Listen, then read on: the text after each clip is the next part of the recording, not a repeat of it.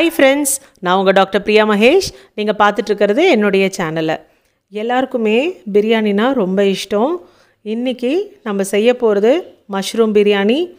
Mushroom பிரியாணியோட potato add பண்ணி நம்ம செய்ய போகிறோம் அது எவ்வளோ சுவையாக இருக்கும் அப்படின்றது இந்த ரெசிபி நீங்கள் பண்ணி பார்க்கும்போது உங்களுக்கே தெரியும். இது ரொம்ப சிம்பிளாக நம்ம வீட்டில் இருக்கிற பொருளை வச்சு தான் நம்ம செய்ய போகிறோம் ரொம்ப டேஸ்டியாக இருக்குங்க.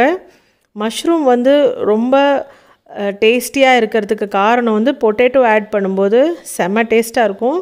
இதுக்கு தேவையான பொருள் என்னன்னு பார்த்துடலாம். வாங்க. இதுக்கு மசாலா பார்த்திங்கன்னா பட்டை கிராம்பு சோம்பு மிளகு ஜீரகம் இஞ்சி பூண்டு பச்சை மிளகா. கொஞ்சம் கருவேப்பிலை கொஞ்சம் புதினா கொஞ்சம் கொத்தமல்லி. அதுக்கப்புறம் பார்த்திங்கன்னா எண்ணெய் நெய் மூணு கப் பாசுமதி அரிசி எடுத்திருக்கேன். அதுக்கப்புறம் வெங்காயம் தக்காளி ரெண்டு பேக்கெட் மஷ்ரூம் மஞ்சத்தூள் அதுக்கப்புறம் மிளகாத்தூள் உப்பு லெமன் ஜூஸ் கொஞ்சம் எடுத்திருக்கேன். தயிர் உருளைக்கிழங்கு நறுக்குனது. இந்த பிரியாணிக்கு மஷ்ரூமை முதல்ல நல்லா வாஷ் பண்ணி எடுத்துக்கணும். அந்த கொடைக்கு கீழெல்லாம் மண் நிறையா இருக்கும். அதை க்ளீன் பண்ணால் தான் நம்ம பிரியாணி நல்லா டேஸ்டியாக இருக்கும். இப்போ பார்த்தீங்கன்னா நல்லா ஒயிட்டாக க்ளீன் ஆகிடுச்சு இதை கொஞ்சம் க்ளீன் பண்ணுறதுக்கு ஒரு ஒரு டேபிள் ஸ்பூன் அளவுக்கு லெமன் ஜூஸ் போட்டு நல்லா மேரினேட் பண்ணலாம். மசாலா அரைக்கிறதுக்கு ஒரு ஜாரில் பட்டை ஒரு நாலு கிராம்பு ஒரு டேபிள் ஸ்பூன் சோம்பு ஒரு டேபிள் ஸ்பூன் மிளகு ஒரு டேபிள் ஸ்பூன் ஜீரகம் ஒரு ஆறு பச்சை மிளகா ரெண்டு மூணு இன்ச் அளவுக்கு இஞ்சி நறுக்குனது பத்து பல் பூண்டு. கொஞ்சமாக கருவேப்பிலை போடுறேன். கொஞ்சமாக புதினா. கொஞ்சமாக கொத்தமல்லி. இதை நல்லா விழுதாக அரைச்சி எடுத்துக்கலாங்க. இப்போ பிரியாணி செய்கிறதுக்கு ஒரு பேன் எடுத்துக்கிறேன். அந்த பேனில் நாலு டேபிள் ஸ்பூன் அளவுக்கு எண்ணெய் எடுத்துக்கிறேன். அதோட ஒரு டேபிள் ஸ்பூன் அளவுக்கு நெய் போட்டுக்கிறேன். பேன் காஞ்ச பிறகு மூணு பெரிய வெங்காயத்தை நீல நீளமாக நறுக்கி இதில் நம்ம சேர்த்துக்கலாம். வெங்காயத்தை ஒரு ரெண்டுலேருந்து மூணு நிமிஷம் வதக்குனா போகிறோம் அது ப்ரௌனாக மாறணும்னு அவசியம் இல்லை. இப்போ இதில் அரைச்சி வச்சுருக்கிற விழுதை சேர்த்துடலாம். இதில் பார்த்தீங்கன்னா இஞ்சி பூண்டு பச்சை மிளகா மிளகு ஜீரகம் அந்த மசாலா ஐட்டம் எல்லாமே இருக்கிறதுனால நம்ம பிரியாணிக்கு ரொம்பவே ஃப்ளேவராக இருக்குங்க டேஸ்டியாகவும் இருக்கும். இப்போ எல்லாமே நல்லா வதங்கிடுச்சு. இந்த நேரத்தில் நான் பொடியாக நறுக்கி வச்சுருக்கிற மூணு தக்காளியை சேர்த்துக்கிறேங்க. நீங்கள் நாட்டு தக்காளி சேர்க்குறதா இருந்தால் அளவு கம்மி பண்ணிக்கோங்க. நான் பெங்களூர் தக்காளி சேர்த்துருக்கேன். இப்போ வெங்காயம் தக்காளி வதங்கின உடனே ஒரு டேபிள் ஸ்பூன் மஞ்சத்தூள் ஒரு டேபிள் ஸ்பூன் மிளகாத்தூள் இந்த பிரியாணிக்கு தேவையான அளவு உப்பு சேர்த்துக்கலாங்க.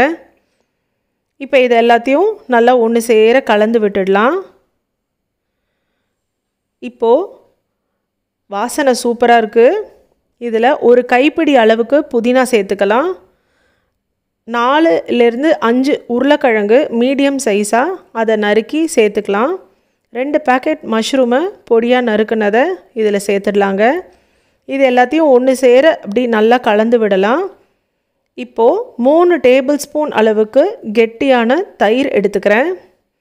இதோட ஒரு அரை கப் லெமன் ஜூஸ் சேர்த்துக்கிறேங்க நான். இதில் என்னென்னு பார்த்தீங்கன்னா தக்காளியோட புளிப்பு தயிரோட புளிப்பு அப்புறம் இந்த லெமன் ஜூஸ் முக்கியமாக இதெல்லாம் தான் வந்து டேஸ்ட் கொடுக்க போகுது நம்ம பிரியாணிக்கு.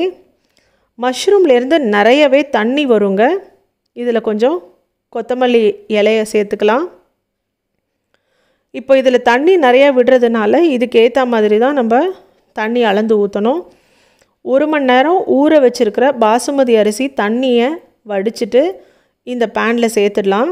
இது கிளறும் போது பார்த்திங்கன்னா நல்லா பிரியாணி உதிர் உதிராக வரும் ஃப்ரை பண்ணும்போது. இப்போது ஒரு கப் அரிசிக்கு நான் ஒரு கப் தண்ணி தான் ஊற்ற போகிறேன் ஏன்னா அரை கப் வந்து அந்த மஷ்ரூம்லேருந்தே தண்ணி வரும். ஸோ இன்றைக்கி நான் பிரியாணிக்கு மூணு கப் எடுத்திருக்கேன். அதனால் நான் மூணு கப் தண்ணி தான் ஊற்றணும் ஒரு அரை கப் எக்ஸ்ட்ரா ஊற்றுறேன் ஏன்னா அந்த உருளைக்கிழங்கு வேகிறதுக்காக. இந்த அளவு போட்டிங்கன்னா உங்களுக்கு கரெக்டாக இருக்குங்க.